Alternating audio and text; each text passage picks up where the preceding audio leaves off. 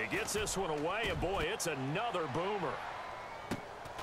This is fielded inside the five.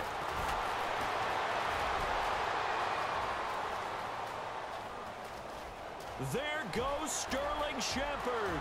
And he's going to take it all the way into the end zone.